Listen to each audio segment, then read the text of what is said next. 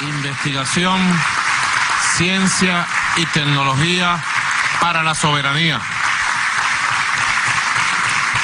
Este es el camino, Venezuela.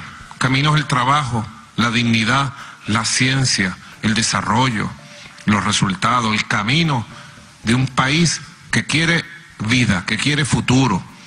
El camino no es convertir a mendigos, a mendigos, a millones de hombres y mujeres que tienen educación, que tienen vocación de trabajo, que quieren a su patria. No, camino no es la mendicidad, ni el nuevo colonialismo, ni ser esclavos del imperio norteamericano. El camino es la independencia, la dignidad, la dignidad, el trabajo conjunto la ciencia, las tecnologías, la educación, gobernarnos nosotros mismos de acuerdo a los intereses de nuestra patria. Ese es el camino.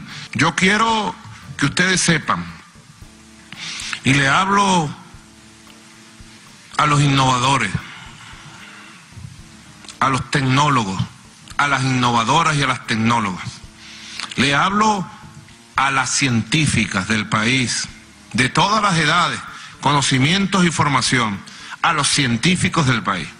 Yo quiero que ustedes sepan que tienen todo el apoyo humano, moral, institucional, todo el apoyo material y financiero para una nueva etapa del desarrollo científico, tecnológico y de la innovación en Venezuela. Una nueva etapa que nos lleve a la independencia firme, decidida, necesaria de nuestro país en esta circunstancia de la lucha por la liberación nacional y el socialismo.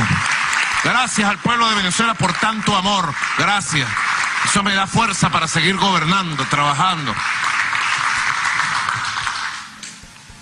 Hay que escuchar al sector científico, de innovación, al sector tecnológico.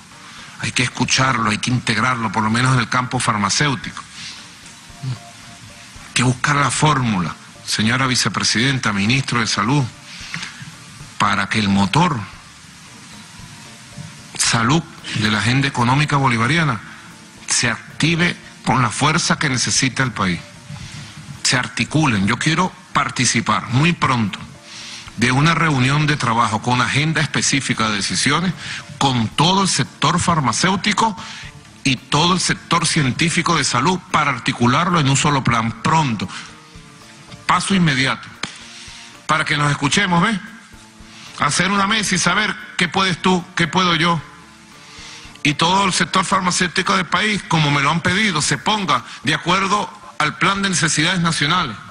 Y en vez de estar produciendo algunos fármacos que, bueno, se venden y son bonitos y son de moda, produzcan los fármacos que de verdad necesita la población venezolana. Vamos a hacerlo pronto, la próxima semana.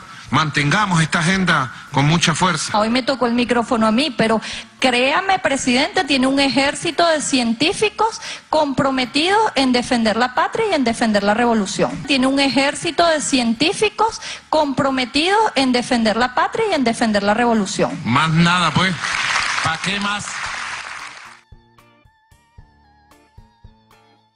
Si nosotros estamos dominados hoy en día en todos los sectores, es porque alguien con unos laboratorios científicos bien este, potenciados nos quiere tener así. ¿Cuánto vale un cartón de huevos?